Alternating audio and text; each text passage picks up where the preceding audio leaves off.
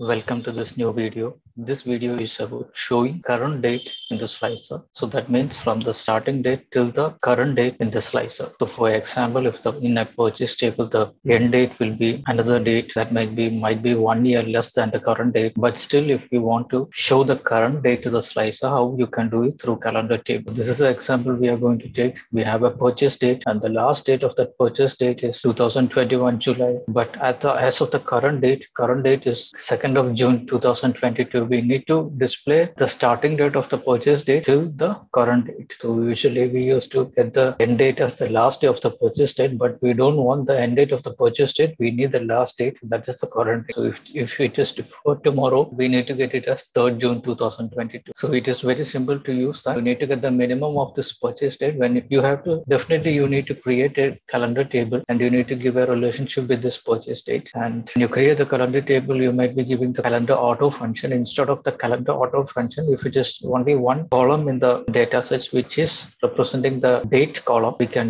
use this method that you need to get the minimum of this date column. And for the maximum, we need to give the current date. That is from the minimum till the current. And that calendar table, that calendar column, you need to drag it to the slicer. But if suppose if you're having too many calendar columns in a table, that means in a data set, if you have more than one columns. So for example, if you are taking this purchase table, it is having two date column. One is payment date and one is purchase date. So that means the date, the minimum date will be different for payment and purchase. So for creating the calendar column, we need the exact minimum date and we need the exact maximum date. For that, usually we used to do calendar auto. So calendar auto, we can't give it till today, till the current date. Whatever date is the minimum and maximum with compared to these two tables, to these two columns, it will be created using calendar auto. That we need to create a calendar auto in a temporary table and that temporary table you need to convert it into calendar function and you need to get the minimum date from that temporary table and you need to use the current date using the same calendar function. We will see both the cases. Right now we are going to see only one case that suppose if you're having only purchase date in this entire data set, we will be considering only the purchase date. So we will do that. So now actually if you are taking a slicer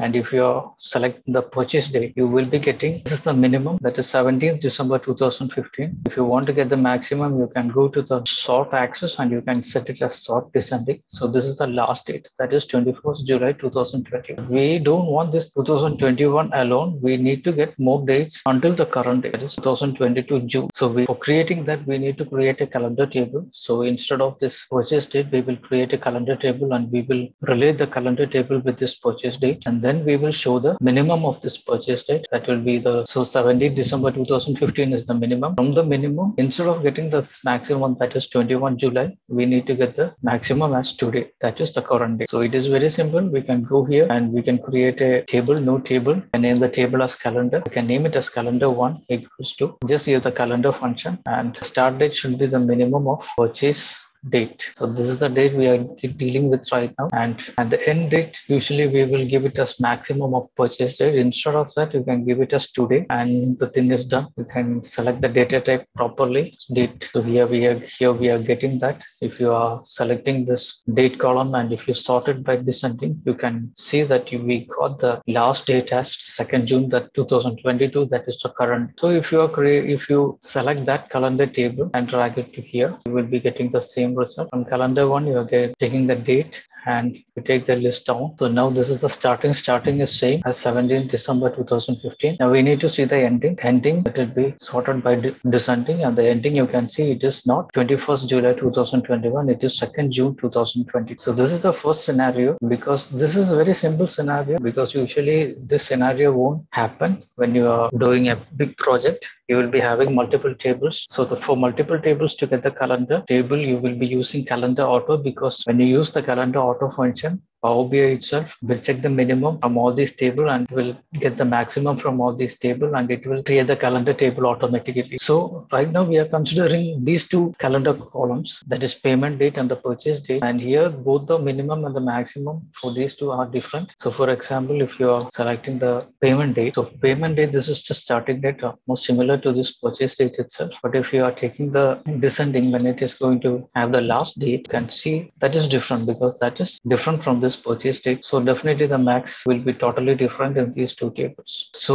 when Power BI creates the calendar auto, it will be taking the first minimum date as 17th December or it will be taking the test. Mostly it will be taking it as 2015 January till 2021 December since there is a big there is a difference between this purchase date and the payment date. In this situation, we can't use the calendar function. Instead of that, obviously we used to use calendar auto. But at that point of time, you can't get the current date that is 2nd June 2020. So we need to create a temporary table. We will be creating for creating the temporary calendar. We can create the new table and we can name the temporary calendar as temp cal equals to calendar auto. You can change the date and time. So when you go and check it here, the calendar auto this is the temporary table and we are taking it the date. You can check the date. It is not from December or it is not from 17th December. It is taking the first from the January itself. That is the starting date. And you can see you will be able to see the ending date. So if you sort it in a descending way, you can see it as December 2021. So this is the way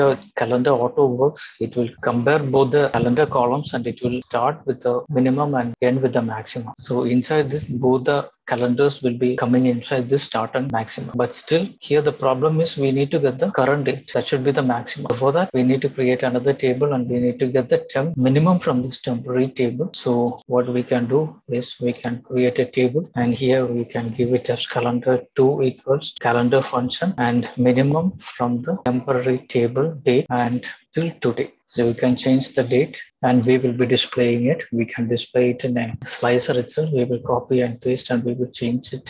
And here we can take it off this and calendar two, we will select and keep. So if you see the calendar two starting is from January, of course it is from January. And now we will see the ending of this calendar and we can do a descending sort and see the ending of this calendar is the current day. So these are both the ways where we can find the minimum the calendar table and get the maximum as the current value. First one, the minimum was the only one column with the minimum of the date and we've got the calendar date as minimum and the maximum was a different date, but we got the maximum as current date. Second one, the minimum was equal having two columns and but the maximum was different for the two columns. One was 17th October 2021 and another one was 21st July 2021 so that we created a temporary table. In that temporary table, we give a calendar auto function. So so we got the minimum and maximum. So it will be covering both the columns payment and purchase date. And we got the minimum from this temporary table to the calendar and we got the maximum as the current date. So this is the final calendar table. So in this way, we can create calendar table and drag it to the slicer where we can get the maximum date as the current date. Hope this will be helpful for you. Have a nice day.